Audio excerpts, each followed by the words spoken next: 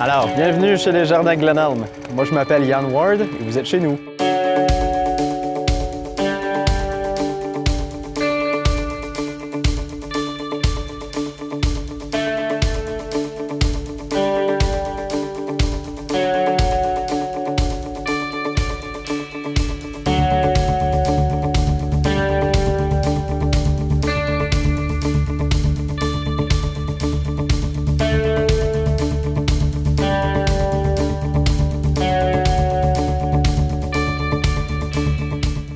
Pas du tout d'une ferme euh, familiale.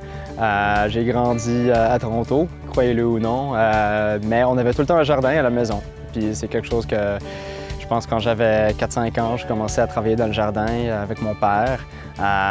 C'est quand même assez grand. Je me rappelle, il y avait quand même un juillet-août là, où, on, on achetait plus de légumes, où on, vivait quand même de, qu'est-ce qu'on avait pour la partie légumes en tout cas.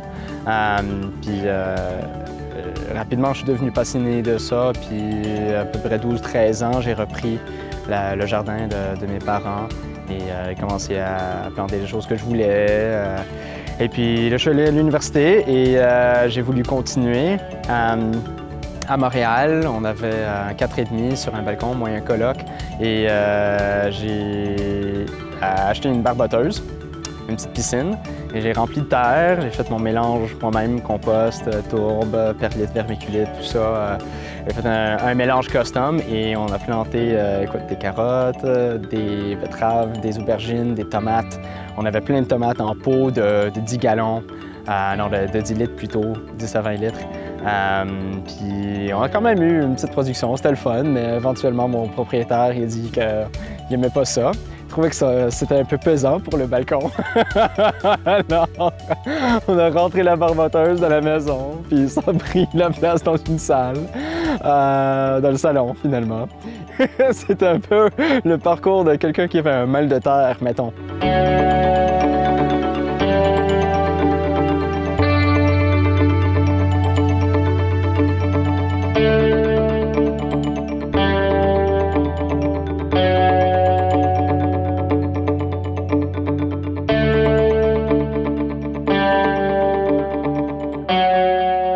Tu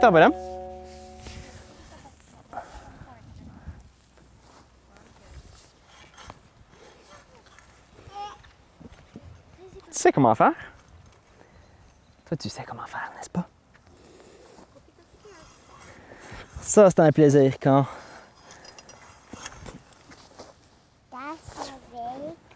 Ouais. Tu viens prendre la carotte? Ça, ça donne tout son sens à l'agriculture bio. Hein? Quand lui avait, je pense, 6-7 mois, hein? on lui donnait juste, on lui donnait même pas à manger, euh, rien de solide. Il était encore allaité euh, exclusivement. Puis il est venu dans le jardin, puis il est venu ressortir sa- son propre radis. Hey Kieran, viens manger ta carotte. Je peux te la donner, celle-là. Tiens. Il savait pas c'était quoi, il savait juste que c'était beau. Puis il a mangé ça direct du sol. Il dit Hey, euh, on pourrait pas faire ça si on était conventionnel. je sais pas. Peut-être que, peut que les produits qu'ils utilisent sont, safe aussi. Mais au moins, on, se sent bien dans ce qu'on fait. On s'est dit qu'on a, on a une confiance que ce, va, ce qui sort de notre sol, il est sain, il est bon. Puis c'est ça qu'on veut que nos enfants ils mangent et ça qu'on veut partager avec le monde aussi. On sait que les gens qui prennent nos paniers, ils vont bien manger, ils vont manger santé, ils vont manger ben, mieux dans le sens que c'est plus savoureux. Les légumes qu'on leur donne sont plus savoureux que ce qu'ils achèteraient à l'épicerie la plupart du temps. Puis c'est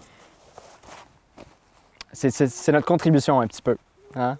On sent qu'on fait quelque chose de bien, que ce que nous on produit dans notre sol chez nous, c'est c'est ce qu'il faudrait faire. C'est un peu l'idéal qu'on essaie d'aller chercher. Euh, c'est pas comme un rapport que tu ferais dans un bureau quelque part où, ton boss serait peut-être content, mais c'est pas concret. Là, ça c'est concret.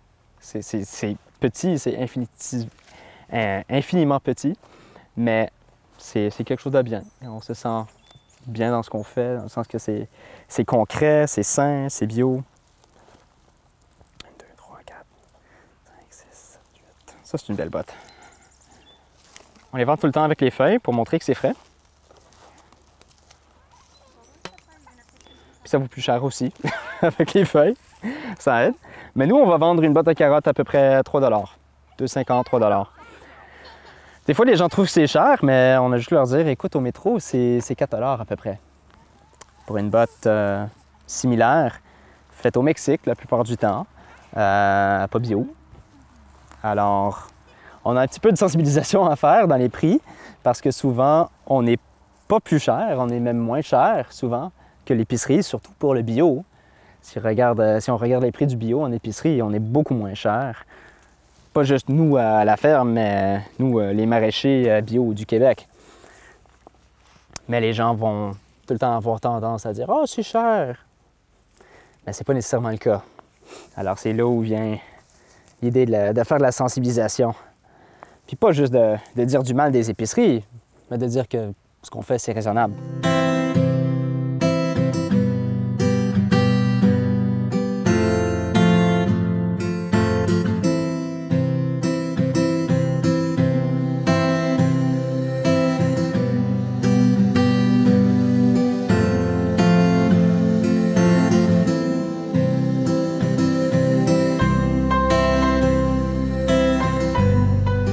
Tu manges un concombre? Un pois? Un pois mauve en plus? Es-tu bon?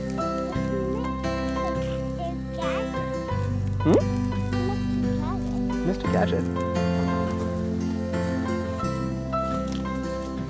Sarah et moi, ma femme, euh, quand on a décidé de déménager euh, en région, euh, parce qu'on s'est rencontrés à l'université, mais elle habitait la région avant. Quand on a décidé de, revenir dans la région, c'était sûr et certain qu'on allait avoir un jardin. On ne savait pas quelle sorte de jardin, on ne savait pas que si ça allait être euh, professionnel, carrière. Honnêtement, on pensait probablement que ça allait juste être euh, un grand jardin familial. Mais euh, j'ai. En fait, c'est Sarah qui m'a indiqué un article dans le journal à un moment donné qui parlait de, de fermes bio-intensives à petite échelle. Et elle savait que je n'étais pas contente, hein, que j'étais pas content à mon travail. Je travaillais dans, euh, chez une entreprise de design graphique et euh, de, fabrication architecturale, de, meubles et de toutes sortes d'affaires. Euh, et c'est ça, je n'étais pas content là-bas. Euh, alors elle dit Hey, tu sais, euh, ça pourrait-tu fonctionner? Je dis Ah, je, je sais pas, hein. je pense qu'on vivra pas bien. Hein? Euh, mais on a commencé à faire des recherches, on a lu des livres, on a fait, euh, on a monté un plan d'affaires. Et euh, c'est ça, Sarah, elle, me a raconté que elle m'a posé la question. euh, elle a dit ben écoute, tu peux le faire, mais montre-moi que ça va marcher. Montre-moi que ça va marcher. Essaye de me convaincre. Que c'est ça, j'ai j'ai mis tout ça ensemble, puis je trouvé des exemples d'autres personnes qui faisaient ça, dont Jean-Martin Fortier, que tout le monde connaît maintenant parce qu'il a écrit Le jardinier maraîcher, puis c'est traduit en coréen, en anglais. Il fait le tour du monde à faire des, des présentations avec ces deux fermes qu'il a maintenant. Mais bref, c'est ça qui nous a inspirés et qui nous a dit OK, on va le faire. On va commencer petit au début et puis on va voir comment ça marche. On va développer notre marché, on va développer notre production. Et euh, voilà, on n'a pas terminé, mais après quatre ans, c'est relativement bien développé comparé à ce que c'était. Hein. C'était vraiment de la friche ici. C'était juste. Euh, il n'y avait rien, rien, rien. Il y avait la mauvaise herbe quatre pieds de haut. That's it. C'était humide. C'était euh, pas un marécage, mais c'était pas trop loin.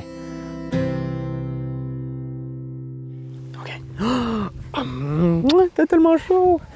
Alors ici, on avait des tomates l'année dernière. Euh, deux serres amovibles, on peut faire une rotation euh, assez intéressante. La petite fille qui veut toucher ton micro. Hein? Euh, on tuteur en hauteur le plus possible. Ça, fait le, meilleur usage de, l'espace qu'on a, puis ça fait des fruits de meilleure qualité. Ce concombre-là, c'est une ancestrale asiatique elle serait toute retournée sur elle-même si on la faisait, la pas. Alors ça fait des fruits vraiment de première qualité. On est tutorant et ça fait plus de circulation d'air, plus de mouvement d'air, euh, qui, euh, qui nous permet de faire des variétés euh, avec moins de résistance aux maladies. Ce ne sont pas des concombres de serre, ce sont des concombres de tunnels, ce sont des, concombres qui, se louent bien à la culture tutorée, mais qui n'ont pas été euh, euh, génétiquement pour résister aux maladies, pour résister euh, à, un climat de serre. Parce qu'on peut l'aérer comme on veut, c'est ouvert aux insectes, c'est ouvert à tout. C'est naturel, mais c'est en ayant l'abri qu'on a, la serre froide qu'on dit, parce qu'elle n'est pas chauffée, ça nous permet de, faire vraiment des fruits de meilleure qualité et de résister mieux aux maladies parce qu'il n'y a pas d'éclaboussement de, de, de la pluie qui va éclabousser la terre, qui va se ramasser sur les feuilles et créer de, la maladie. Fait qu'on fait cinq rangs dans ce tunnel-là, trois rangs de poivrons et deux rangs de, concombres. Euh, c'est extrêmement productif. On vient de planter la deuxième succession de concombres aussi, qui vont prendre le relais sur la première euh, génération, qui souvent se fait attaquer par des, euh, des bibites. Alors on prévoit le coup en plantant une deuxième succession qui devrait nous amener jusqu'à la mi-septembre. Sûrement s'il continue à faire beau comme ça, hein? Écoute, on est une ferme diversifiée, on essaie de convenir aux besoins typiques d'une famille. Alors, on essaie de planter tout ce que les gens aiment le plus. Euh, il y a quelques exceptions qu'on fait beaucoup moins.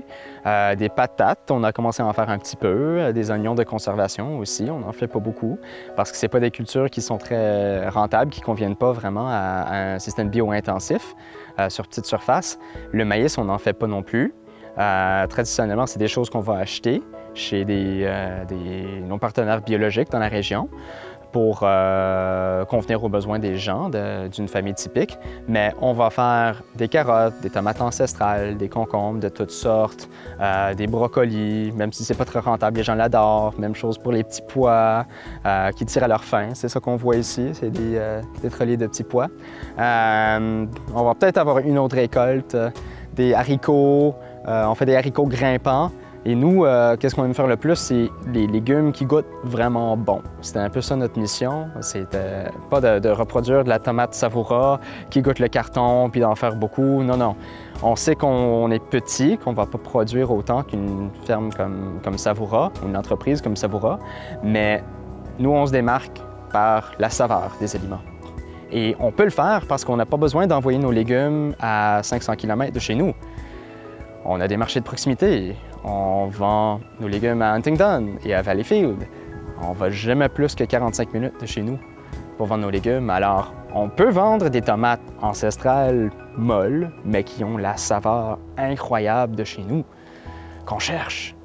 C'était ça la passion de, cultiver des légumes. C'était Ah, ça goûte bon, ça goûte tellement mieux que, ce qu'on achète à l'épicerie. On peut faire ça chez nous? Et bien, il y a certaines variétés qui conviennent juste pas, qui sont trop molles.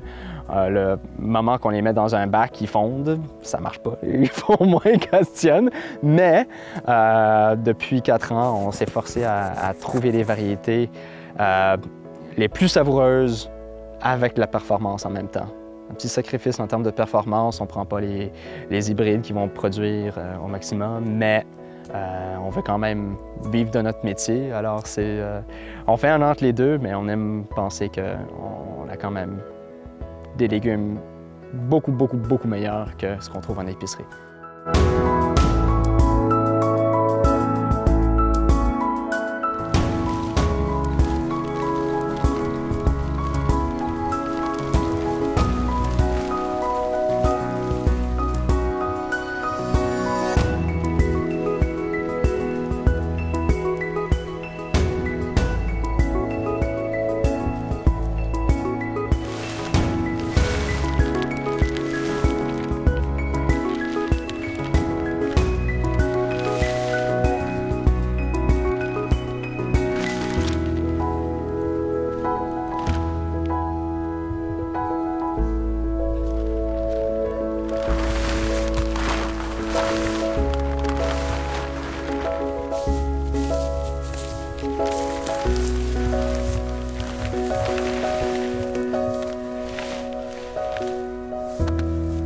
À peu près une semaine qu'on l'a laissé ici. On a, installé la bâche après avoir tondu, euh, tondu avec la débroussailleuse. Puis là, ça va affaiblir les mauvaises herbes et ensuite, on les couvre de la bâche. Elles vont cuire au soleil parce qu'il fait chaud. En plus, on met le noir, alors il fait 45 degrés, 50 degrés en dessous de la bâche. Et en plus, ils ne peuvent pas respirer. Alors, ça va tuer les mauvaises herbes littéralement en les suffoquant. Et ça fait le bonheur des, euh, des euh, vers de terre qui vont se régaler de toute cette matière en décomposition. Souvent, quand on enlève la bâche, elles sont présentes. On les voit en train de, de, de, manger, littéralement, elles vont se sauver parce qu'on vient d'introduire la lumière. Mais euh, ça, c'est, j'appelle ça du Roundup bio parce que c'est pas tout à fait aussi rapide, mais c'est aussi efficace, sinon plus efficace. Et nous, ça fait un miracle en termes de, de notre production parce qu'au lieu de devoir travailler le sol tout, à chaque fois qu'on veut faire une succession de laitue ou de brocoli. Si on a mis la bâche assez d'avance, travailler le sol juste de façon minimale d'avance, on peut littéralement juste aller planter dedans après. J'aimerais ça qu'elle soit un peu plus avancée. Littéralement, j'aurais pu juste enlever la bâche puis planter la main avec la pioche puis planter euh, dedans comme ça. Ça fait qu'il y a moins de préparation, moins de, de temps perdu, un désherbage euh, pas mal instantané en ce qui concerne euh, la préparation. Fais-tu cueillir la tomate?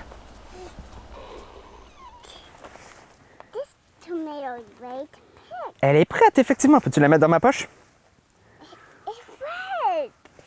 Elle est rouge! Euh, on a, ça, c'était notre première serre. C'est la, la plus grande qu'on a. C'est euh, 24 par 100. Euh, froide, pas chauffée. Euh, on la déplace. Elle était derrière nous euh, au printemps. Celle-là aussi est prête. T'as raison, tu peux la mettre dans ma poche. Peux-tu en trouver d'autres? Euh, ça nous permet de faire toutes nos primeurs, euh, les choux raves, les carottes, les pois, les betteraves, euh, les rabioles, les radis, euh, les fines herbes. Merci, Kun, tu fais vraiment bien. Et ça, c'est ah, ah, génial. Ça nous permet d'avoir des légumes, pas juste des, feuilles dans les premiers paniers. On commence le 14 juin, on a déjà des betteraves. La semaine d'après, on a des carottes. On part avec des choux raves, des, euh, plein de fines herbes. Ça fait des beaux paniers pour commencer et euh, une belle diversité. Oh, super. Dans la poche. Merci. Vous trouvez plein de variétés de, de tomates qui ont le bon port, comme celle-ci. euh, normalement, on la mettrait de l'autre côté, ici, qui serait contre le bout de la serre. Donc, elle ne peut pas être trop grande, mais est productive. C'est une ancestrale, elle a une excellente saveur, une variété d'Angleterre qui s'appelle Tigrella. Et les autres qu'on vient de cueillir, c'est, euh, s'appelle Glacier. C'est des variétés hâtives qui ont aussi une excellente saveur, qui viennent jamais très grandes, qui vont faire 2-3 pieds maximum, mais qui vont continuer à produire.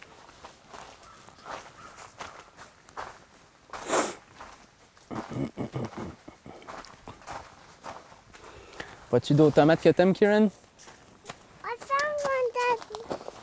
Oui, tu l'as vu, moi je l'avais pas vu celle-là. Peux-tu me la mettre dans ma poche? Merci, Kieran. On en a ici aussi.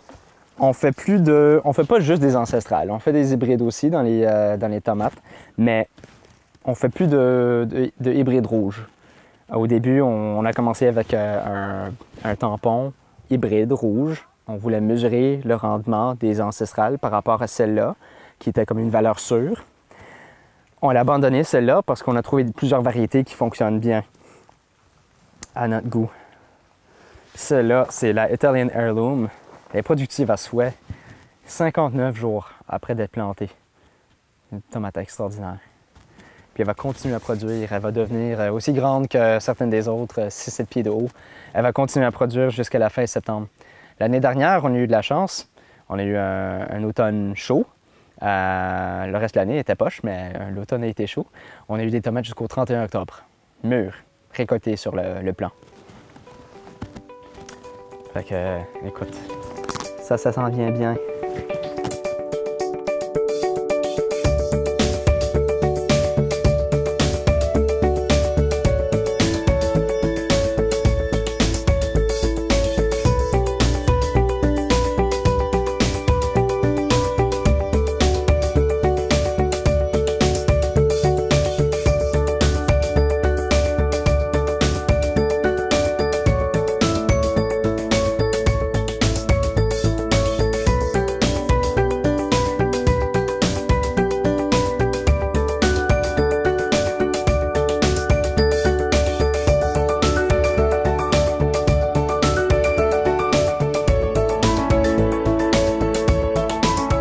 Le marché fermier du comté d'Huntington, ma femme était impliquée euh, il y a 13 ans quand on commençait à parler d'un marché fermier à Huntington.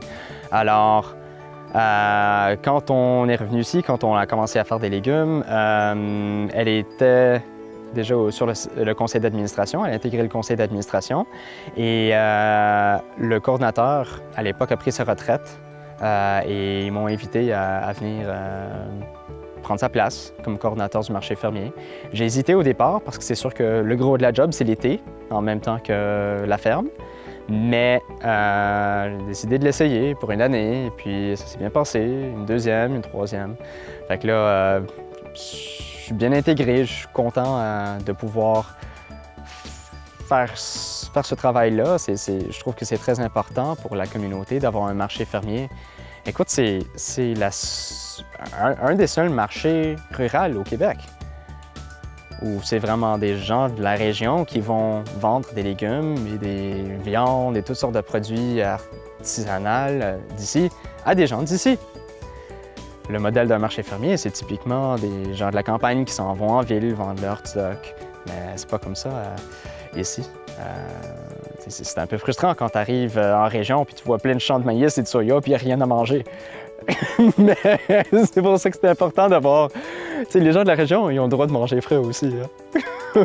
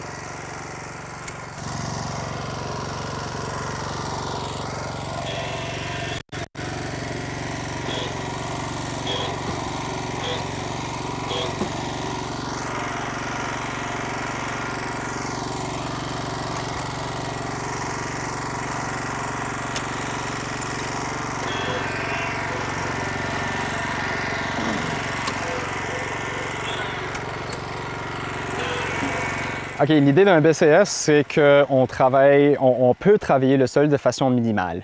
Euh, au départ, c'était pour me permettre de, défricher un petit peu le sol pour être capable de le travailler. Je travaillais beaucoup au rotocuteur.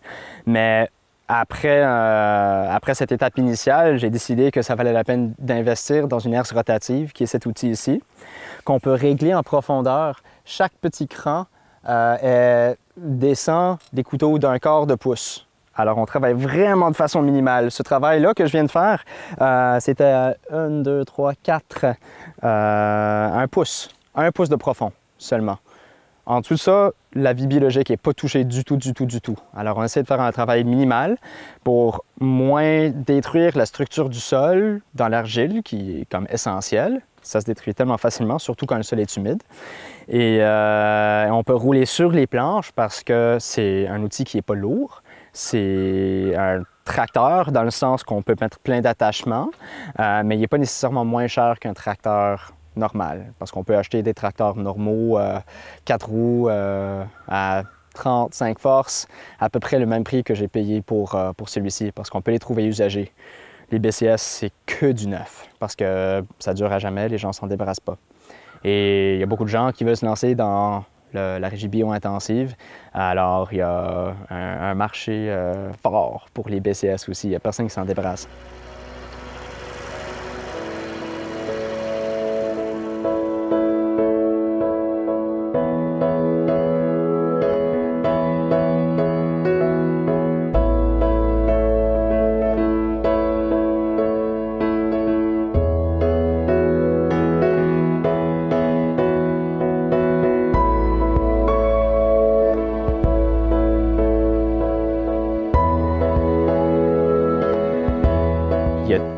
D'opportunités pour les, les, gens qui ne sont pas certifiés de dire Ah, on, est presque bio.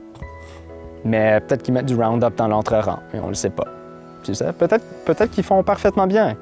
Mais est-ce qu'ils connaissent vraiment le cahier de charge? Peut-être, peut-être que non. Et comme ça, au moins, on peut, on peut le montrer notre certificat et dire euh, oui, on est certifié, on a fait la démarche et vous pouvez avoir confiance qu'on produit nos légumes de façon biologique et de la façon la plus saine qui soit.